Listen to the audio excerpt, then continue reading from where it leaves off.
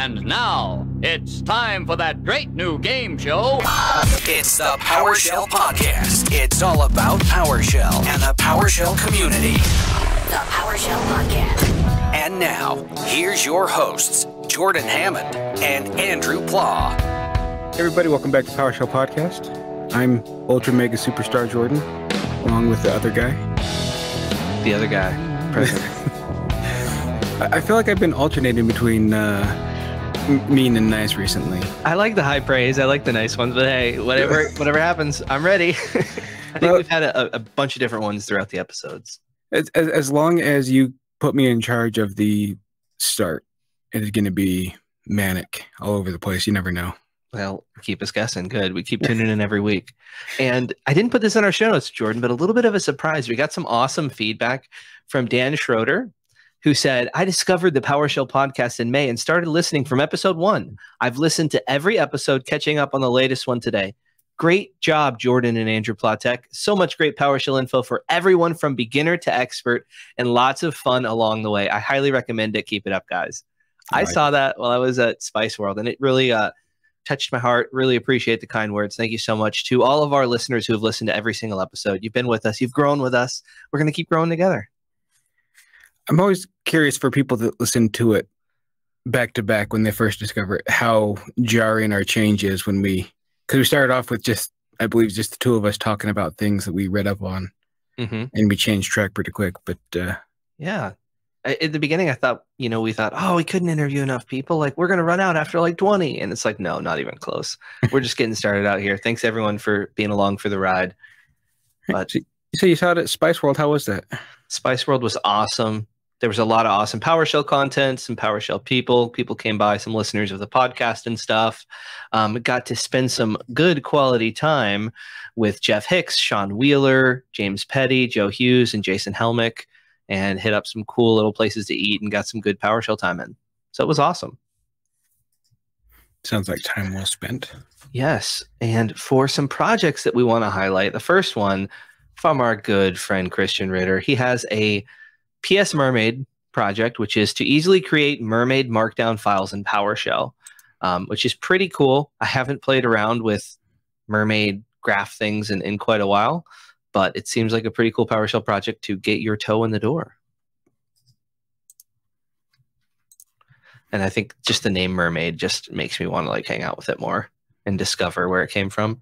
I, I still Um, don't fully understand Markdown. I don't want to learn new variations. Of, Oh, you don't want to learn Markdown? It's like just text based stuff with like, eh, it's just text. I said I don't want to. I said I don't. I, every time it's uh, I go to write it, it's a it, it's almost like a regex for me. Every time I Mm. it's like, oh, I need to use it, I've forgotten how everything works. I think it's a good one to learn because it's all over the internet. Like Slack uses some form of Markdown, Discord does. Um, but hey, maybe this is our chance. Maybe we'll play with it by next week. He also has another cool project for the code golf enthusiasts called PS Command Shortener. And it basically takes a PowerShell script block and it replaces um, command names with aliases. And it does some cool stuff with the abstract syntax tree. Um, so definitely a project worth playing around with and looking at how it works. Probably be insightful. PS Resource Get release candidate is also here. So that's a complete change to like a core how PowerShell grabs things, I believe, right? Yeah, yeah, sort of. Um, it's the new method for getting packages and I guess PowerShell Get. I, like how the answer was clearly no, but you're too nice. It's like, yeah, sort of. Well, there was that You're- thing where correct. they explained how you could kind of use both, and there would be an update to PowerShell Get um, that would, like, I guess, allow you to call PS Resource Get. I think in our episode with Sydney, we talked about it.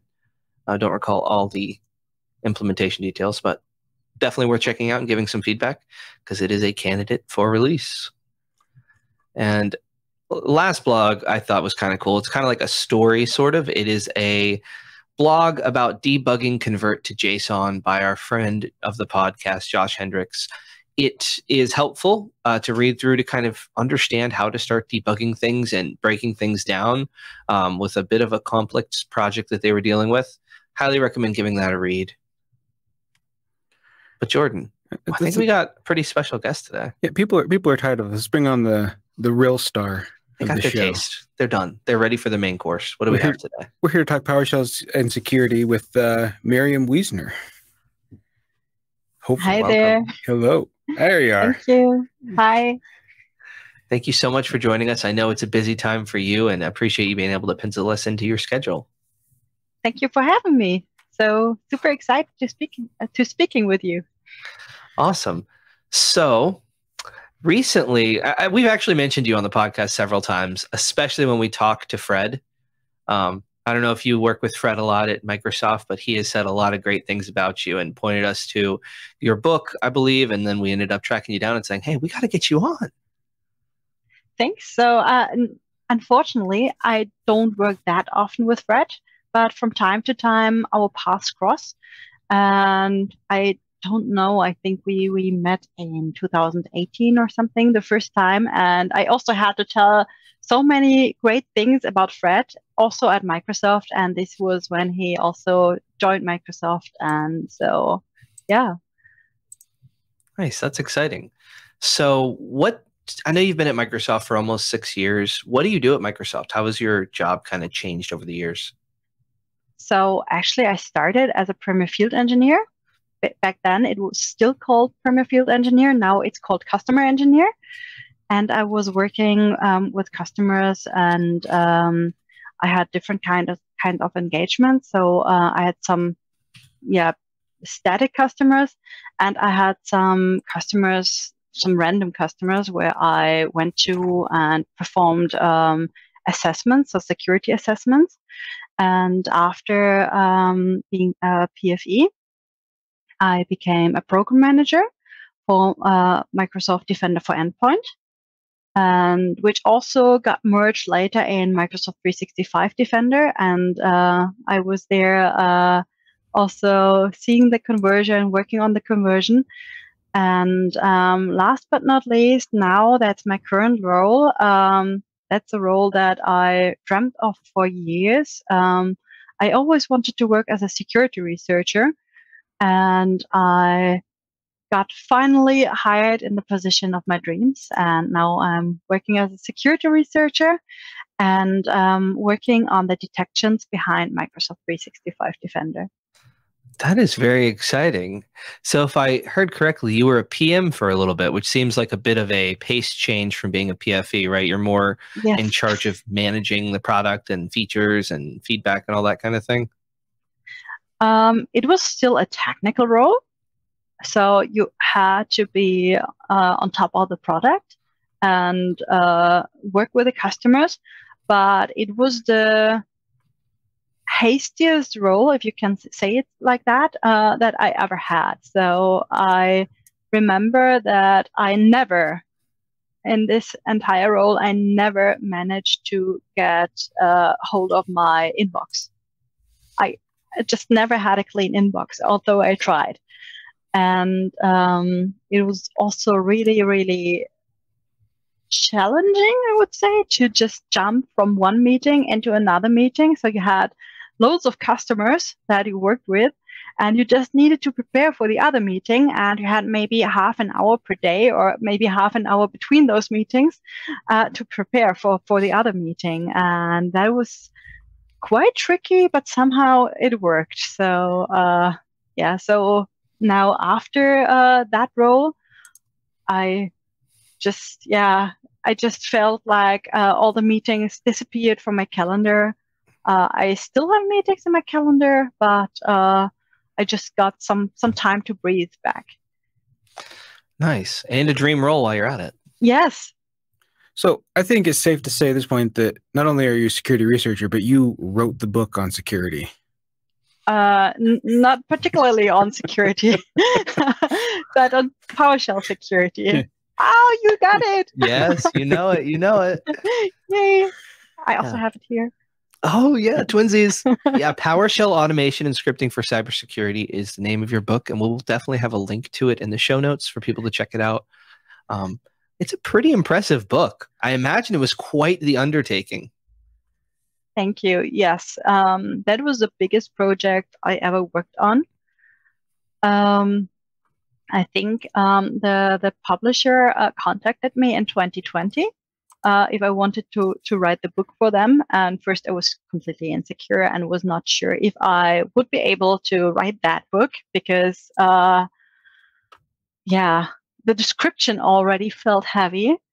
And after some brainstorming, I was like, well, there are only some topics that I need to research. And basically, I already know a lot of those topics that they asked. And so I accepted. And then in 2021, I started and finally finished the book with a short break of, uh, yeah, giving birth to my wonderful son. So, yeah. Well, congratulations on that. That's exciting as Thank well. Thank you. Um, who would what would you say the purpose of this book is? Like to people, you know, they understand the title, but what's what is this book aim to do? So I tried to make this book understandable for all beginners and advanced um, readers.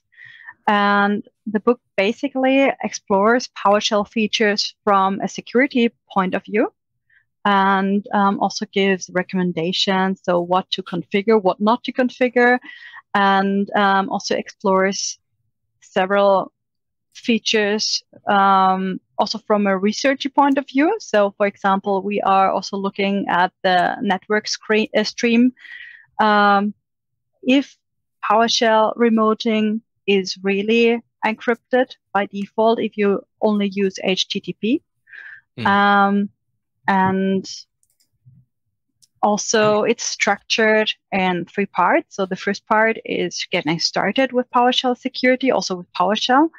And the second part is diving deeper into the system, um, Active Directory, uh, Azure AD, or uh, now called Entra ID. And um, yeah, we also have a part uh, with a red team and blue team um, cookbook so that you have some handy PowerShell snippets, some handy scripts that you can use for your uh, daily use.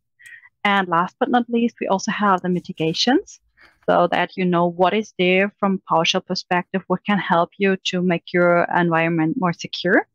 And also we will look in the third part also on some options on how adversaries can attack those mitigations and what they are doing. That is awesome. That is definitely explains why the book is so thick. There's a lot of awesome content in there. Um, I know we've talked to, I guess, Fred a few times about how to approach PowerShell security, but I think that having a book in front of you that you can go to, that you can look things up, is massively helpful. Um, I haven't read the whole thing, but I was reading through parts of it, and it definitely seems like it guides you on the right path if you're working in PowerShell at your organization and you want to start actually implementing some of the security features that PowerShell has, I highly recommend checking out this book. It is worth its weight in gold. It is very inexpensive relative to the value that it adds. So I recommend hitting up your manager, getting it approved, just getting it shipped to your door. Um, so you can start implementing some PowerShell security. And to me, it just seems a little bit more approachable when it's in that page by page format. At least for me, I don't get so lost in my head at, oh, I need to do all these millions of things. It's like, oh, you can kind of just defer to the book and and take Miriam's excellent perspective into account and, and take advantage of all those insights. Thank you so much for those nice words. Thanks for the nice book. It, for people who you know try and profess oh PowerShell security, it, it is nice to have a great new resource that we can point people to um, because it does, in my experiences working with people, it can be a little daunting to have them uh, have those conversations and getting that get that process started. Yeah. I think security is one of those that if you don't go in there with a security mindset like that's what you're used to is the hardest part of PowerShell because you're never really sure. It's one if you get it wrong, you're at the most risk. So more information is better in my opinion. Yeah. Yeah. So what were some of the challenges you ran into in writing this book? Uh, so first big challenge is procrastination. so, uh, well, when you start, you are super motivated, but after some chapters, you just fell into the habit to write, and at some point, yeah, your mobile phone, looks very, very uh, intriguing and interesting, and so it was really hard to stay focused and to not get distracted And um, of course, uh, another uh, big challenge was um, I planned to finish the book before my son would be born. And yeah, I already planned with everything. And then the pregnancy was also quite challenging. So I did not manage that. And um, yeah, when you have a toddler or a baby, basically, uh, he was a baby back then. When you have a baby, uh, he requires all of your time. And then it was really challenging to get the book finished. So uh, I'm really, really thankful that my husband supported me in the best way he could.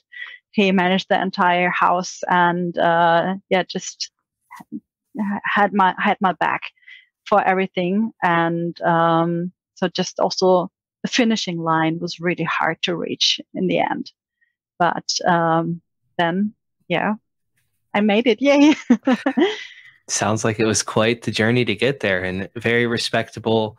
Um, really appreciate you being able to manage all that in life. You know, it's like, it's admirable. I should say. I look up to that. I, would like to Thanks. be as strong as you one day.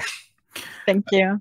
I feel like this is getting me in trouble because my boss that edits this has been talking to me about my missed writing deadlines, and I don't have a fraction of that going on. I still can't hit a deadline. So this is making me look real bad.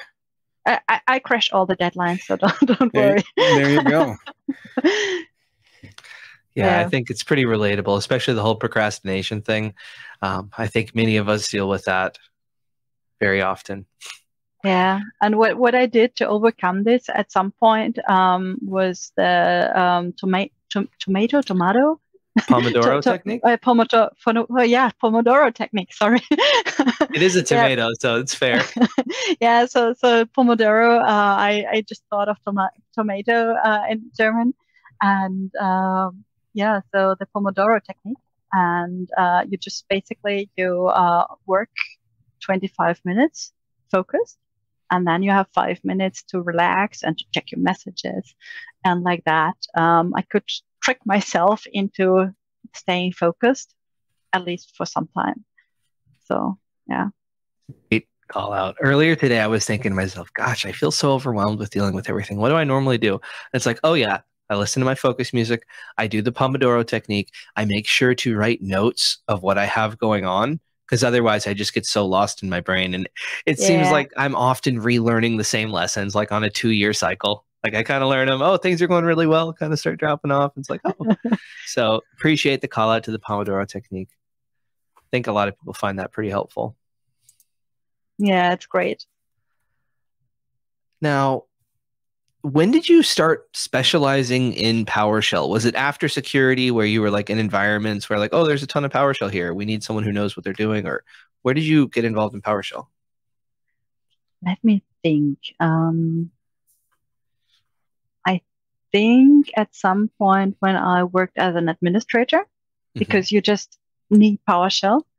Um, this is when I started with PowerShell, but I did not really look into PowerShell security at that point um, that came later. That was when when I uh, worked at Microsoft, and um, yeah, because it's yeah quite close there. Um, and I was really obsessed with JEA at the beginning, so just enough administration. And um, I was super, super excited about JEA. And I told all my customers, yes, you should use JEA. And all my customers were like, man, that's really hard to implement. so how can we make that easier?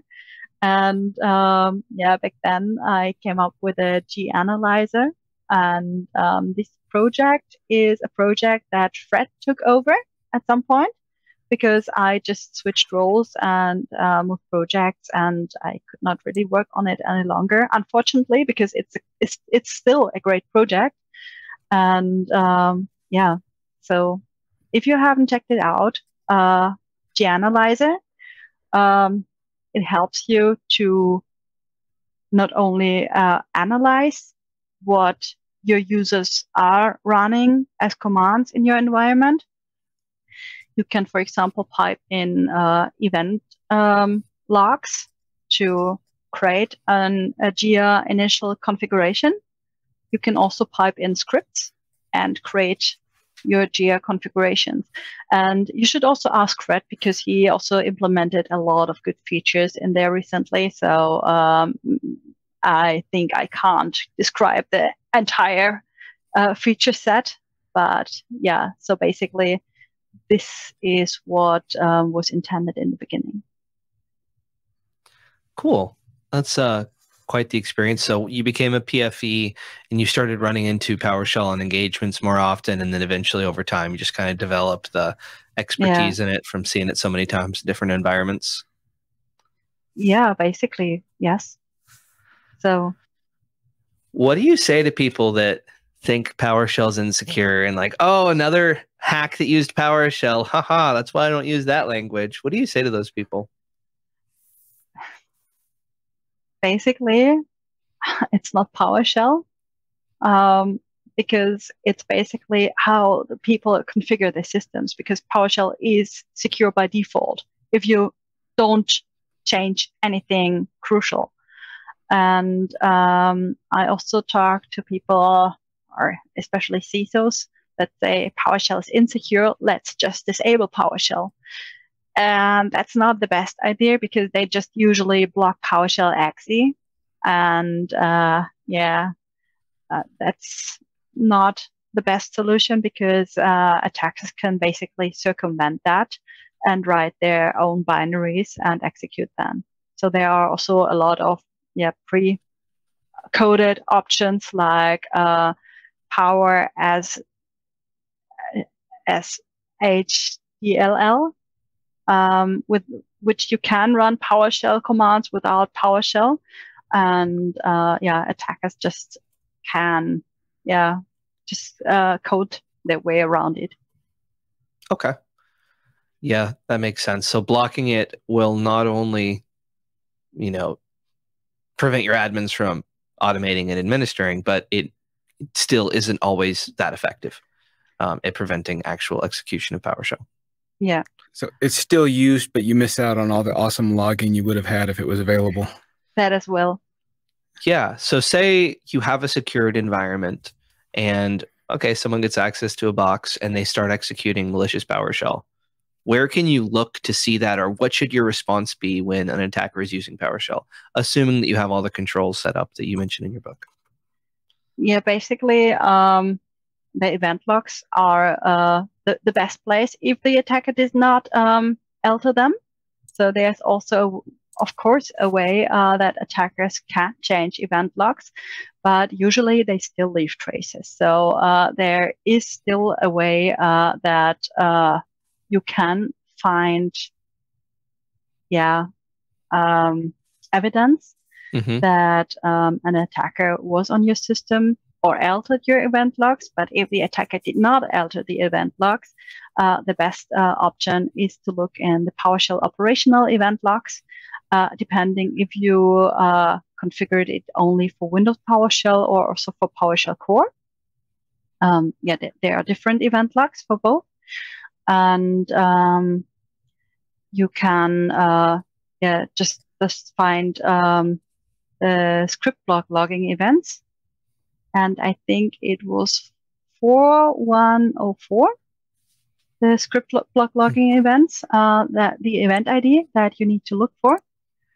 And um, yeah, basically you can, if you have script block logging enabled, uh, you can basically find out all the commands and also the scripts that an attacker was running.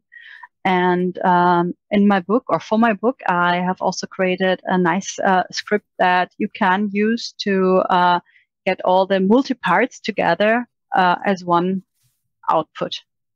Mm, okay. And you're saying script block logging, and that is a feature in PowerShell, the deep script block logging. I think it's a feature that you have to like turn on um, using some policies or registry or whatever. But I think that that's a really cool aspect of PowerShell. PowerShell. What is the deep script block logging, and what does it help us get visibility into? What do you mean with deep script block logging? So there, there is script block logging. So I might be just adding the word deep to it because my memory says it, but I- or maybe I just think because it is able to dig sort of deeper into the code and see what's actually being ran, rather than I think the obfuscated commands potentially. So it kind of, if an attacker uses obfuscated commands, the deep script block logging allows you to see what it's actually doing. I think that's basically in combination with AMS, with the anti-malware uh, script. Um, uh, I don't. I missed the I. But I, I think that a lot of times whenever I see, interface. Interface. oh yeah, Anti-malware scan, scan interface. that's it. Um, that's it. Sorry, I always use the abbreviation. So I basically never use the entire uh, word. Um, so basically, uh, the obfuscated part um, is most of the time deobfuscated by AMSI, and therefore uh, you can then see it deobfuscated. So uh, AMSI is a great uh, feature as well, which also helps you uh, securing your environment, and which also prevents attackers from running obviously malicious code. because it kind of scans it and can determine like say no no Yes, exactly. So uh, when an attacker attempts to run malicious code, so for example, easiest example, in, invoke Mimikatz, um, the command before it's even run is sent to AMSI, to the interface, and uh, then uh, AMSI determines if the code is legit uh, or if the code is malicious. And if the code is malicious, it's blocked and if it's legit, then uh, it can be run. And of course, there are ways to bypass AMSI, but uh, yeah, it's getting better and better, and it's gotten really, really hard to bypass it. yeah you think invoke mimikatz is one that most security products are able to pick up these days Yes, definitely. yeah so it's an thi- this was meant to be an easy an, exa- an easy example. Yeah. Cool now what's the sentiment in the security world? Have you seen it change? Like have you seen more people in the security world understand that blocking powershell isn't the answer and securing powershell is the answer? Um, or you know because for me i think viewing the security world it feels like for a while PowerShell was a bit of a joke, you know, oh, it's so insecure, blah, blah, blah. But I think I see more and more people who aren't heavily involved in the PowerShell space that are saying, like, hey, no, you need to secure it. Actually, I think governments, uh, I think we covered that before on the podcast, where the governments are like, no, no, no, you need to lock down PowerShell and take advantage of it to secure your systems, not just block it. I think it's still split. Um, I see more and more people moving using PowerShell because, well, if you have PowerShell enabled and if uh, the right uh, detection mechanisms are in place, then you are so powerful that you see basically everything that uh, the attacker is trying to do, and you can better respond to the actions. Um, of course, the the organization needs to be big enough to have all these uh, these measures in place. Um, but yes, I, I saw many org- organizations uh, who were using PowerShell to their advantage. Uh, but I still, uh, yeah, I still talk to many organizations that were like, um, yeah, PowerShell is uh, dangerous because attackers are using it.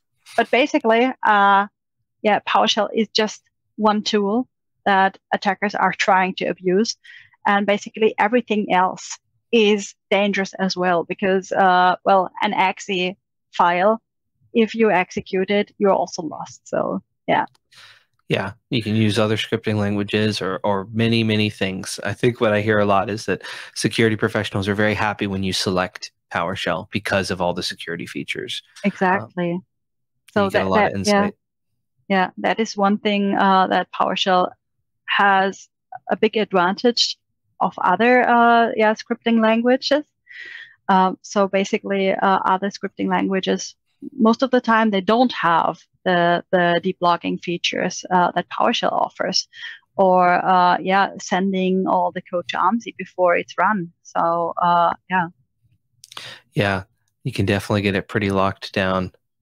Um, is there one feature in particular that you think is underutilized?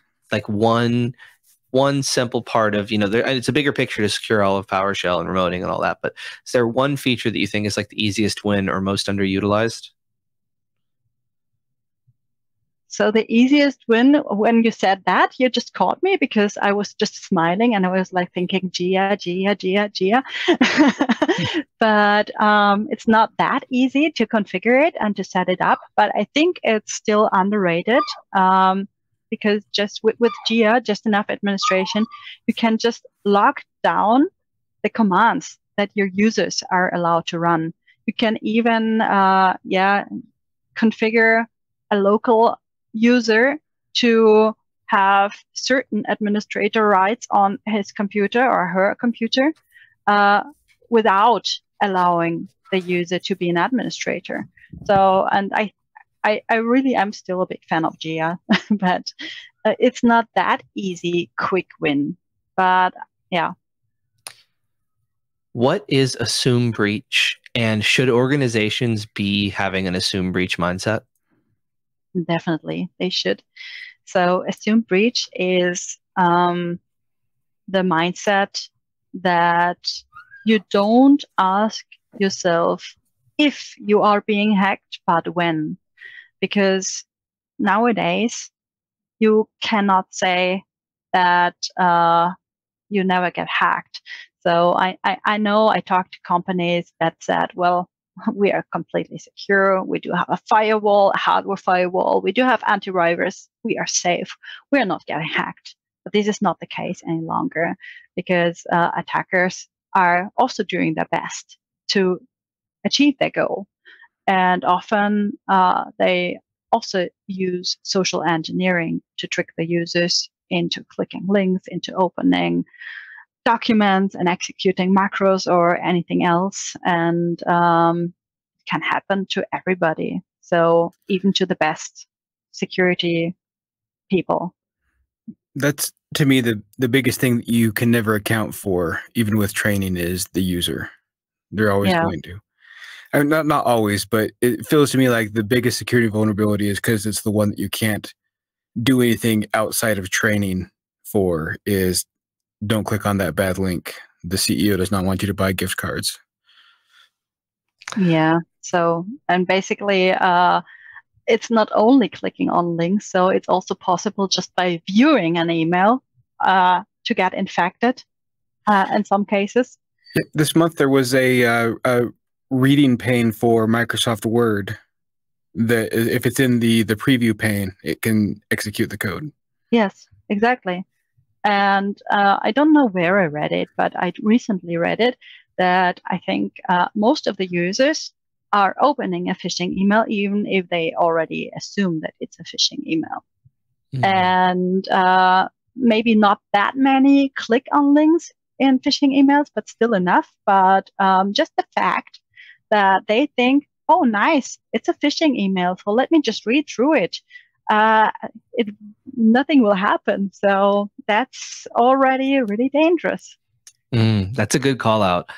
I think um, some organizations implement a little button to report your emails to you know the security team, and if you can't do that from the preview pane, well, you know you could mm. be viewing the email. So I wonder if there's some better training people should go under for that. Like if it looks super suspicious, delete, delete it, it and and let your admins know that you deleted an email and they can look it up. Yeah.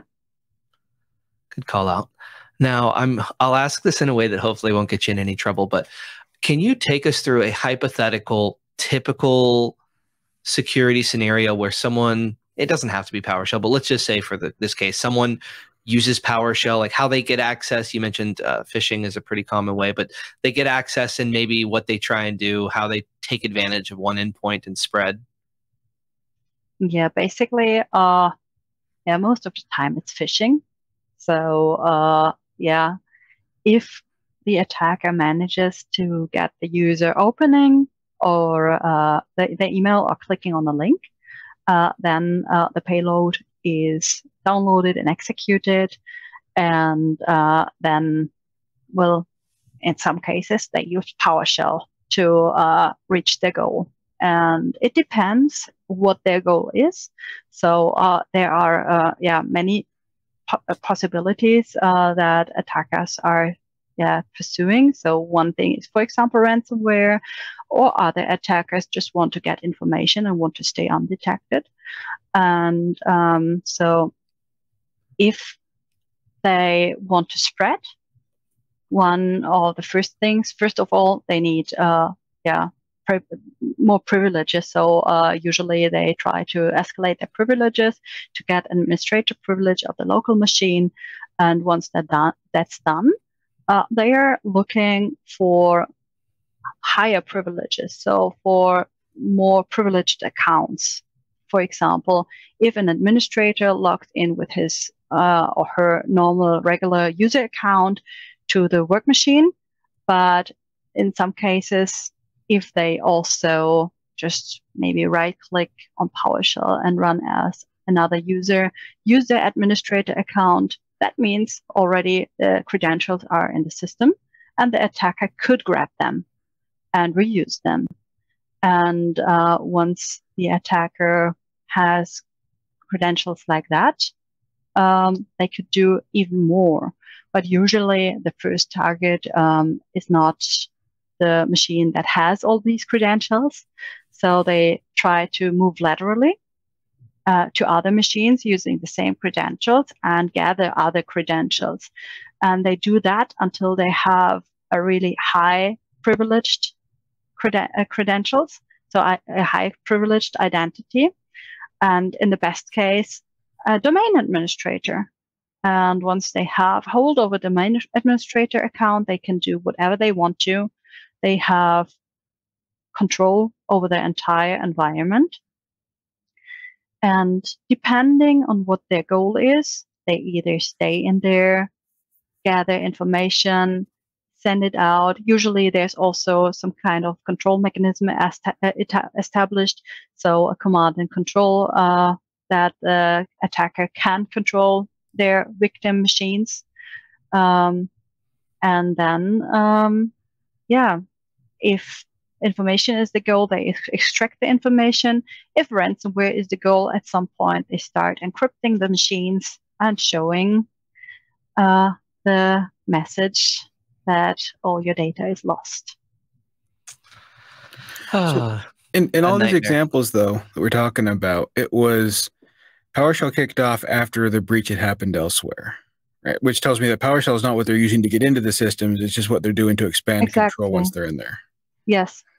And it could be every other tool. So it could be also Perl, it could be Python, whatever is there. But PowerShell is usually pre installed on the system. So there are still attackers that are looking for PowerShell and uh, abusing it. Yeah. I think that if you have PowerShell configured, like you tell us to in your book, Yes. I think that along the way they would have set off many alarms, especially if you're like feeding it into a SIEM or something like that, where Yes. you can kind of collect information from your targets and be like, okay, why is that account logging in here? Or you know, why is this code running? What's going on here? Exactly. So um, that is basically uh, what you really should do. Uh, configure all the security controls for PowerShell, and you are ahead of the attacker when they are trying to abuse PowerShell. And actually, attackers are also more and more moving to other options because yes, PowerShell is quite secure, and they have found that out as well. Um, there are still uh, groups that are using PowerShell, yes, but uh, there are many other groups that are just yeah trying to use binaries or uh, other possibilities. Is security hard? That's a question. I, I don't find it hard because I I really yeah like doing security, like the consulting, also like the research, or uh, like um, finding out how an attack happened and understand it. But um, it's I think security is a lot of compromise, to be honest, because I, I worked with so many organizations. And when, when I started in security, when I wanted to, to really work in security, I was like, okay, everything needs to be secure. Um, I was an administrator back then. Uh, you can imagine how my users felt.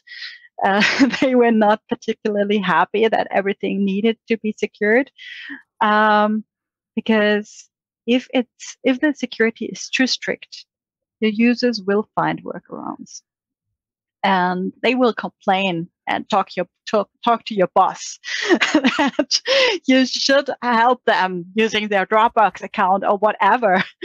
But um, yeah, um, basically, it's always a compromise because if you don't want your users to use Dropbox, you should offer them a secure alternative. And so you have to also think what your users want or what your users need and how your organization is working. Um, because if you, for example, have still a Windows, Windows XP machine somewhere in production, yes, you can tell the people in the hospital, for example, to take down the Windows XP machine. But in the end, if that's a machine where they have software from the year 2000, literally, and you tell them to uninstall that software, they will tell you there is no other option, and millions of people lives depend on it, for example, or production will stop or whatever. And um, in that case, the smarter option would be to isolate that machine and to only allow, yeah, control traffic. But yeah, so this is why I would not say security is hard, but security is full of compromises. Mm. So it seems like one of the major issues then would be adoption. Like you said, take away Dropbox. But if you just say you're not using Dropbox without saying, but here's an alternative, then people are going to find ways internally around the security, which makes it easier for everyone. Yes. Yeah, so if, if you're giving them, them an, an alternative, they are not going to find other uh, ways around it if it works for them. But if you just completely block Dropbox, completely drop OneDrive, completely block everything, then they are trying to find another solution and maybe the browser. Right, because we work in the context of a business, and sometimes business choices need to be made, and you can't, you know, follow the best security practices as they're written down, right? You sometimes have exactly. to adapt them to your business, and get business buy-in sometimes as well, especially for paid products and things like that. An actual adoption of new processes or things like that, it's going to be very hard to do that if there's just one person in security trying to yes. get it done. But I'm also not saying that uh, for production uh, you should completely leave out security because you should always, yeah, try to get get, get the balance. Yeah. So for me, and maybe you you view it differently, but being in security is just constant terror. Just no. because, you, like with, with, me, I'm working against the the system I'm running or, or the process. For for you, you're running against an opposing force, which feels to me more more terrifying. Um, so for me, it's not terror because I I just always found security super super interesting. Um, and when when when I was a little girl, I I thought, okay, mm, maybe becoming a hacker would be cool, but that's illegal, so that's off the table. So my big uh, wish was back then game designer or game developer. I never became game developer, to be honest. and um, but I I just find it fascinating how attackers are operating and yeah, just security, securing the systems um, is also a way to understand how attackers are working and how people could circumvent certain mitigations. And yeah. It's like a fun, complex system. Yeah. Yes. One one thing we learned when we interviewed IM Jacoby is if they get physical access to the machine, then it doesn't matter. It's yeah. pretty pretty much over. Yes if they have physical access to the machine, it's not your machine any longer. Yeah. Yep.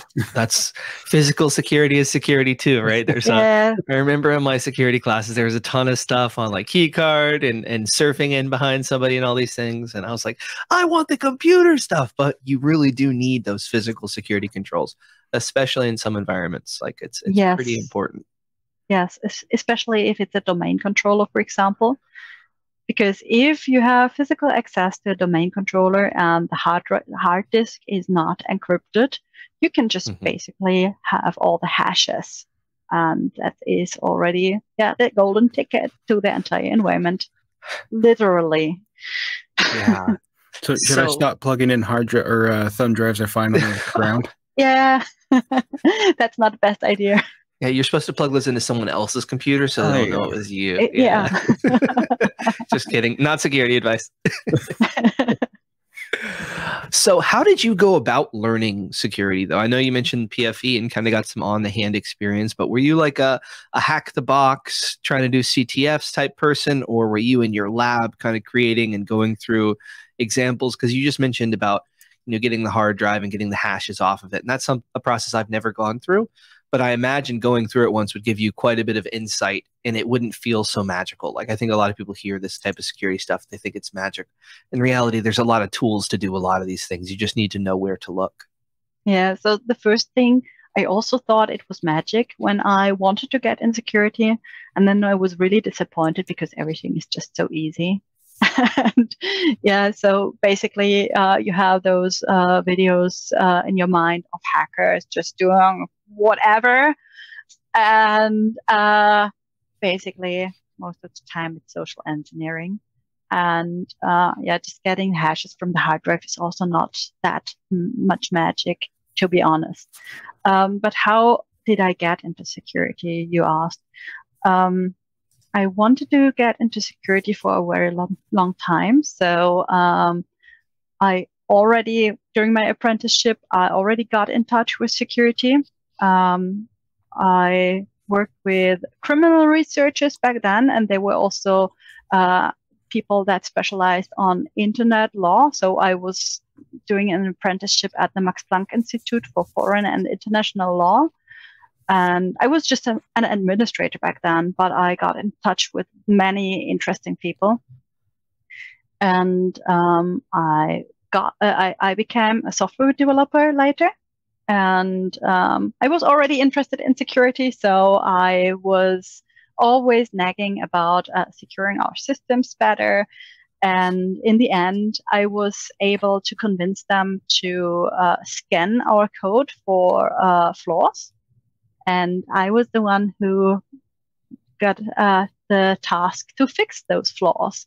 And in this process, I was also able to just experiment how those flaws worked. And um, yeah, later I also read everything I could on Twitter uh, about security, whatever I could find in my spare time. So, for example, when I was riding uh, yeah, the tram or the subway, uh, I had some some minutes, and I also just tried it out. So I back then. Um, I don't know if that was a thing back then. Hack the box, maybe it was, but I uh, did not do it back then. I just tried it myself. To be, yeah, that's that's the answer. Fair enough. And I think that's a great way to learn. Get your hands on it, try things out, get some visibility into what seems like magic. And then, just like everything else in IT, it just becomes, it's just how it works. But she Yeah. took it to the next level. She recommended the starting of the processes and then took over the the mitigation. So she she pushed the company towards it so she could get more hands on. That's genius. That's ownership right there. I, I just was happy that I could fix those bugs and experiment with them. I think it kind of sounds like you're similar to me in that when we work for an organization and we're responsible for something, we take that a little bit serious. Like if you're paying me to be responsible for this aspect of security, um, we're going i'm going to do the right things to represent the business because otherwise it looks very bad on me i have to work in this environment where potentially i'm like it just it's just a no no you have to take ownership and do things the right way because you're stuck in this environment assuming you keep your job and even if you leave it your reputation is part of it your coworker is like Yeah. the business risk. There's people's jobs that are on the line if you get really hit big time by a security uh, event. I mean, some companies have gone out of business after certain security events, so it's it's an important job. Yeah. And yeah, I still find it interesting, although the, magic disappeared a little bit, but there are still some some areas that sparkle with magic powder. Uh, so uh, that I haven't explored yet. Nice. You want to share any of those with us? Any other points of interest you're looking forward to learning more about? Yeah, so basically, I want to learn more about reverse engineering. So I already have some basics, uh, but I really want to, yeah, just see the lady in the red dress uh, if we're talking matrix wise. And um, I also am looking into bug bounty. So Oh, cool. into the, the real deal. And yeah, Uh, that's pretty cool. I've thought about But- stepping into that world. It seems pretty pretty awesome. Yeah. So, but it's still uh, such a big thing for me, and I'm just at the beginning. So uh, I never know if I will go far there, but uh, yeah, I, that's something that I'm currently interested in. Interested in. Well, speaking of both magic and things you're interested in, we saw on your GitHub you have like an Excel spreadsheet that updates based on price. I know I'm taking it out of computer security, but For uh, Magic the Gathering, yeah. Magic the Gathering, yeah. So you have like a you just track. I need this card for my deck, and it just tracks the current price for you, or what all goes into this? Yeah, so uh, well, th- this is already quite old. Uh, when when did I create it? I, years ago. Seven years ago. Seven years ago, yes. and um, basically, uh, we were just building. So me and my husband were playing uh, Magic the Gathering uh, at that time uh, with real cards, and um, we were just creating another deck, or I was just creating another deck by that time, and I wanted to have some more cards, and I wanted to keep track what I need and how much it will cost. And uh, yeah, so basically, when you're building a completely new deck, uh, it really helps to get everything at once. And for that, I uh, built that Excel spreadsheet and named it my deck wish list. nice. And I Yeah. think that it hit at a time, I think, where land prices, the price of certain cards were going up quite a bit. So probably pretty helpful. But it's always fun to, to see what kind of people or what things people do outside of the office. Yeah, and I think um, it was don't don't hate me if I don't get the name right. I think it was Bant Spirits uh, that I built back then. Nice. awesome. Well, Jordan, I think these are some easy questions, Jordan. Do you have any hard ones? Yeah, there's nothing easier than security, as we've learned here. So we're going to get into the truly difficult stuff now. These are the common parameters, if you will. These are three questions we ask at the end of every interview. Each one is more difficult. oh, All right. So first one, are you ready? I'm doing my best. yes. What's one time something went wrong at the job, and how did you, or what did you learn from it? Can you just repeat the question? please? What's one time that something went wrong while on the job, and what did you learn from from I guess fixing it? That's a hard question. um, something went wrong for me or in the environment. Anywhere that you can draw experience from. You could have got, uh, sent me the, this question in advance. Well, it, it, it sounds to Um, me like you have just a sterling record then. No, I don't. um, I, I just thought of something, um, but it's not something that really went wrong for me. Uh, but yeah, at, at, some point, um, when I was working as an admin, um, I yeah talked with uh, a consulting colleague, and we talked about um, no, that's also something private, metal music, and uh, we wanted to share some music between our computers. And uh, back then, I just um, was at her uh, computer and I opened uh, my Explorer and typed in my IP, IP address with uh, C dollar. So basically, yeah. Uh, so basically, the admin share, and I hit enter and I copied the, the music. And so, some some seconds later, I was like, Eva, did I just enter my admin credentials? And she was like, Oh, I don't know. Did you? And I was like, I don't know. Let's try it again. And we tried it again. And I opened my admin share on my computer directly. And I just worked without prompting me for credentials. And uh, that was like, oh, um, gee, what is happening here? And then I just found out that my company, uh, now it's fixed, by the way. So nothing can happen from that. But my company uh, had created a GPO that allowed basically everybody to have admin rights on all the computers because they wanted to give their employees so everybody was consultant or somehow out there at the customers they needed administrative rights on their computers and so they created a gpo that everybody had admin rights on all the computers. So, is this where your love of JEA came from? Because this feels like a prime example of where it would be useful. Maybe, maybe yes.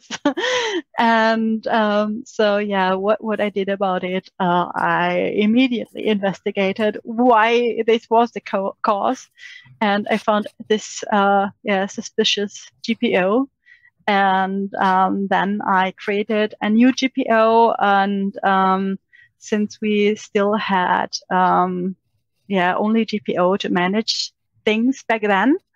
Uh, I think it's different nowadays, but uh, yeah.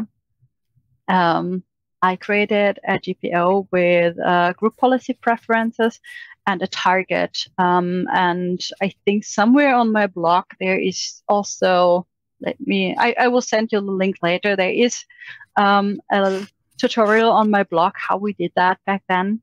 Um, yeah, so that only one person had administrative rights on the computer they were assigned to. So, and we used the GPO and the Active Directory attributes to manage this. So you saved the day, mm. basically. Yeah, maybe they did not know the impact back then, but I hope so. Now we know that metal saves ears and environments. Exactly. All right, you ready for the second question? Oh my god, this the first one was already so hard. Shoot. With everything you know now, what's one tip you'd give your younger self when you're first getting started? hmm, that's also a very tough question.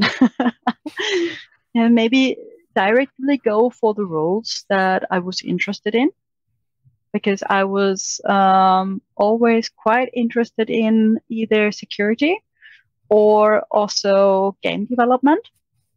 And what I did um, after becoming an, an, administrator or after my apprenticeship, I um, became a software developer and I did not become a game developer.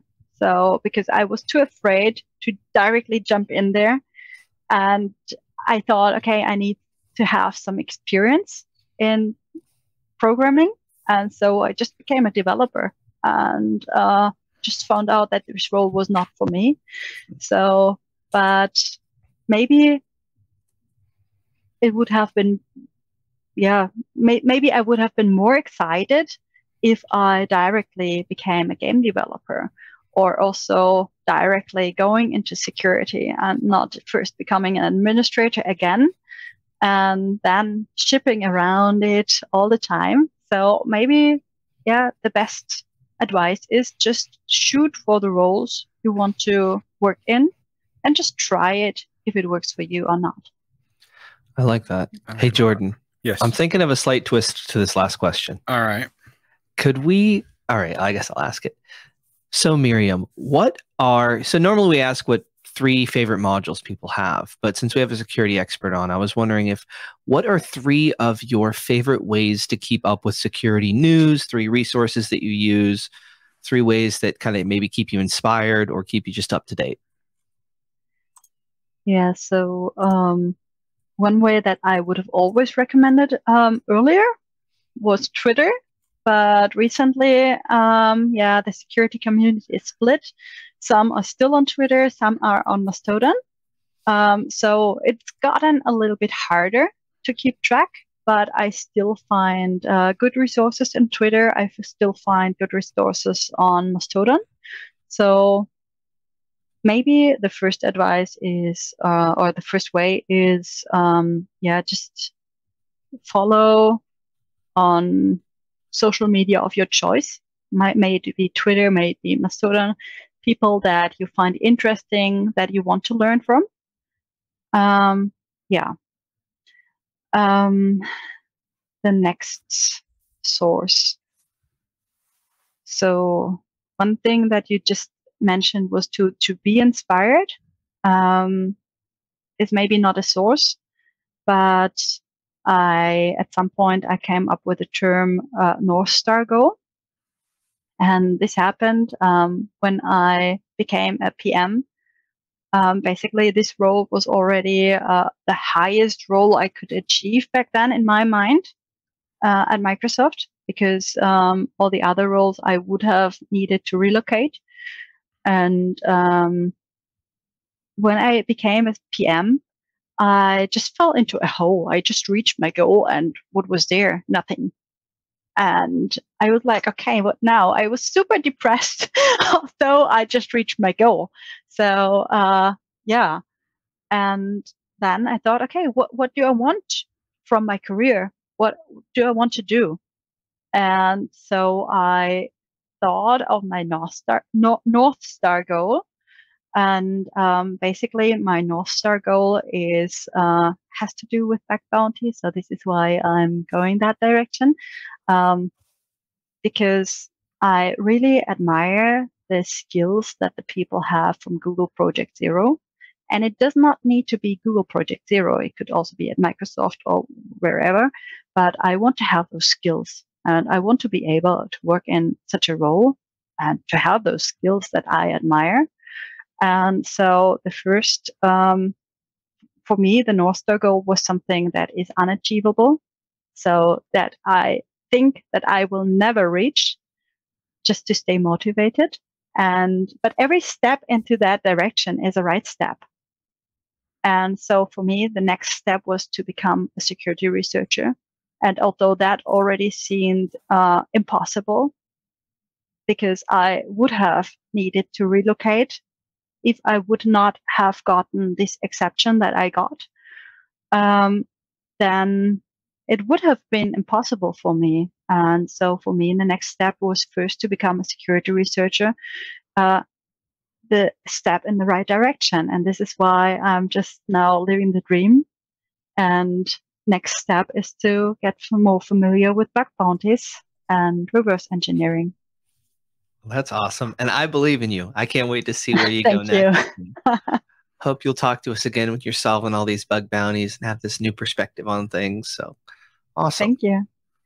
I have a recommendation for a, a other option as well. Maybe some kind of book about PowerShell automation and scripting. Yes. Get yours now. Yay!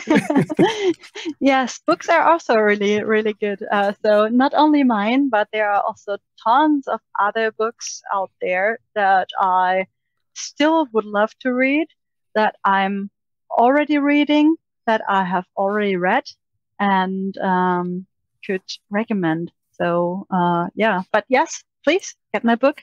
It's great. it is great. Plus one Thank to that.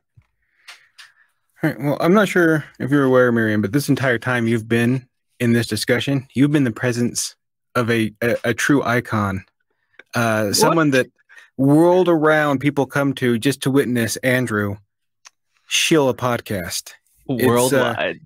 so you you have the distinct pleasure of a front row seat to the premier shillsman of this world. All right, take it away, Andrew. Listeners, Thank you for joining us today. I've had a great time and you have as well. I just know. Um, thank you so much for listening to us today. If you enjoyed what you heard, or even if you didn't, leave us a five star review on Apple Podcasts or your podcast platform of choice. Wherever you listen, we're here for you. YouTube, give us a like, comment, maybe even a subscription. Tell us what your favorite security resource is. I'm curious. I like to know. If you got feedback, positive, negative, want to share a story, PowerShell at PDQ.com is a way to reach out to Jordan and I. Two and one, two birds, one stone. Let us know. You can find us on social media. I'm Andrew Plotek. He's Jordan Hammond. Miriam, where can people find you if they want to tap in and and see where you go next and see what you're up to? Uh, so I'm on Twitter. I'm on Mastodon. so on both. Uh, I'm on LinkedIn. Uh, you can find me on Twitter uh, under Miriam Xyra. So I, I will send it to you. And um, on Mastodon, uh, I'm MW. I will also send you the name later. And on LinkedIn, I'm Miriam Wiesner.